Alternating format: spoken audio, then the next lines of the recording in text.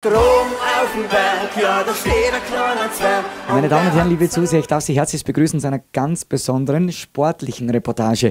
Wir sind unterwegs im Namen der Juzis, denn das große Juzi Open Air, das zieht die Massen an.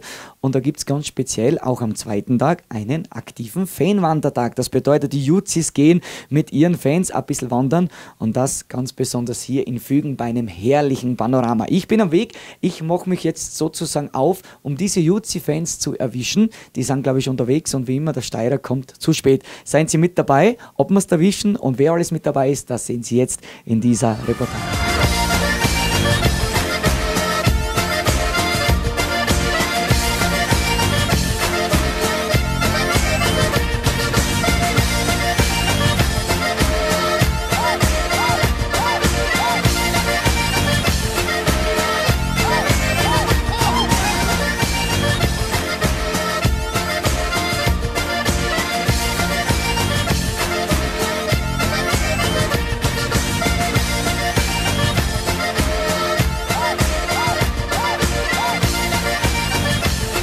Ja, liebe Zuseher, es ist mir fast gelungen, die Juzis und deren Fans einzuholen. Die meisten sitzen schon da hinten, denn gleich gibt es auch natürlich Musik und ein Konzert von den jungen Zillertalern. Aber wie die Stimmung ist, wie die Wanderung so war, das werden wir uns jetzt alles einholen. Und zwar von vielen Stimmen der Fans, der Familienmitglieder und der Freunde der jungen Zillertaler. Also kommen Sie mit, jetzt haben wir es echt geschafft. Und ich bin von oben bis unten alles allein gegangen, das können Sie mir glauben.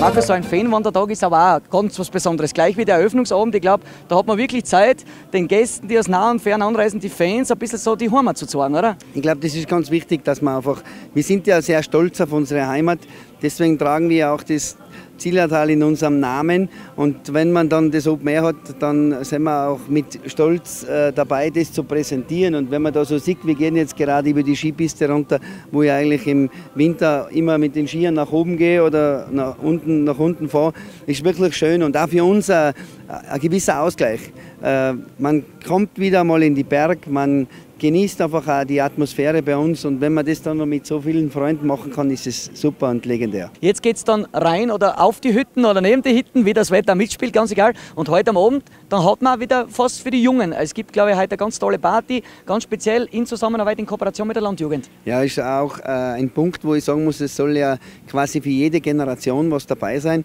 Und das ist auch bei unserer Musik so, dass es, äh, man sagt ja sehr oft, Volksmusik, Schlager ist eher was für das ältere Publikum. Das ist bei uns im Gegenteil eigentlich. Wir haben wirklich auch sehr, sehr viele junge Fans, sehr, sehr viele junge Freunde, die immer wieder kommen und unter anderem auch die Landjugend.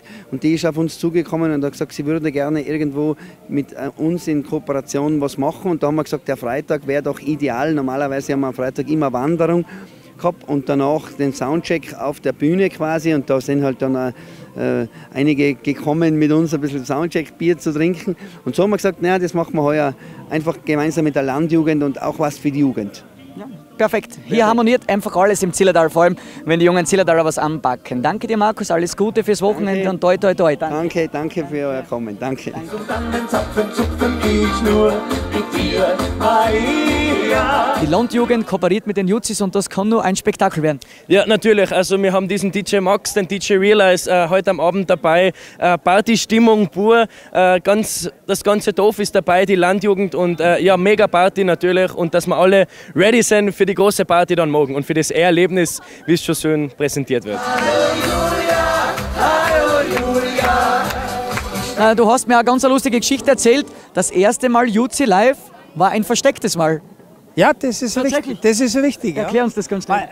Äh, wie gesagt, ich, ich habe die Jungs gesehen und dann habe ich gedacht, Mai, das, das wäre was für dich. Und dann habe ich gesagt, du pass auf, ich kenne für euch in Deutschland ein bisschen was du. Und äh, dann haben sie gesagt, ja, das wäre ganz super. Und ich habe gesagt, ich mache das gern, ich mache mit Spaß. Und deswegen also läuft es auch in Deutschland draußen ganz, ganz gut.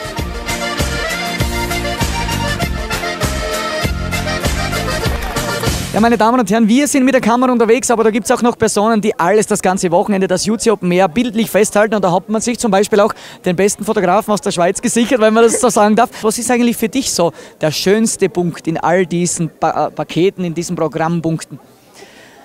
Ja, es gibt zwei Punkte. Der eine ist sicher der, der Begrüßungsabend, das ist schön familiär, da sind die, die Jutzi-Family, die Fanclub-Mitglieder sind alle dort. Und das andere ist natürlich das Open Air selber und dann, wenn die Jutzis auf die Bühne kommen. Ich denke, das ist ja das Highlight für alle, die da sind.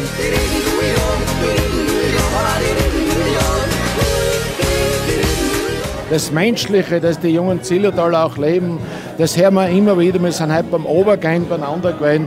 Das ist das Persönliche, das ist leider sehr viel verloren gegangen, aber dafür haben sie ja so viel Erfolg.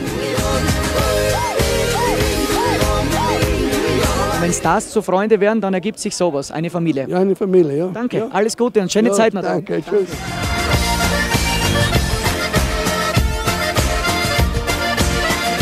Einen ganz besonderen Punkt, so den Begrüßungsabend oder dann das Feuerwerk zum Schluss. Was ist für dich so der Special Moment bei diesem Erlebnis? Ja, bei mir ist es schon immer unser Konzert am Samstag und dann halt am Ende großes Finale mit Feuerwerk und so. Das, das hat schon was. Das hat schon was, wie das ganze Open Air. Danke, Muck. Alles Gute und äh, was trinkt man da jetzt auf dieser Mittelstation? Äh, Buttermilch oder Bier? Ich bleibe heute bei ersterem. Dankeschön.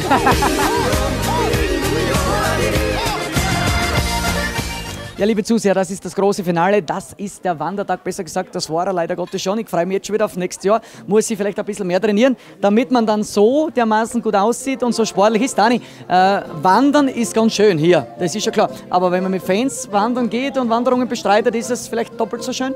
Absolut, doppelt so schön. Meine, in der Natur zu sein ist sowieso immer schön und wenn man dann mit den Fans einmal wirklich Zeit hat, weil da ist man einfach eine Stunde, eineinhalb unterwegs und trifft den einen den anderen, der andere schneller, der andere langsamer und man kommt ins Gespräch und äh, Smalltalk und äh, ja, so, so nah hat man die Fans nicht selten und sie uns auch nicht und von dem her ist es eine total super Möglichkeit. Zum Abschluss dieser Reportage darf ich Werbung machen, meine Damen und Herren. Auch ich habe das jetzt gelernt. Man hört das immer wieder, das ist ein Spektakel im Zillertal, wenn die Jutsis dieses Open Air dann schmeißen. Aber im Endeffekt ist es schon Action pur, aber auch, wie du sagst, sehr familiär, sehr besonders. Ich glaube, das wissen vielleicht viele gar nicht, dass man so viel Zeit dann auch mit euch hat, oder? Man glaubt vielleicht, ja, bei den Auftritten, da ist man zeitlich gebunden, man muss wieder weiter. Aber da schenkt man den Fans wirklich sehr viel zurück. Absolut. Äh über die Medien geht natürlich hauptsächlich der Samstag raus und, und wenn da tausende Leute sind, dann hat das natürlich äh, sind das andere Bilder, die, wie die mir jetzt mir da sagen. Dafür bin ich jetzt. Wandern ja, und vom Begrüßungsabend, wo das einfach viel intimer ist und viel näher und, und auch persönlicher. Ja. Die Mischung, die macht es einfach perfekt. Daniel, danke dir, alles Gute weiter noch für die nächsten Tage, für die nächsten Stunden und bis 2023 spätestens. Unbedingt. Danke.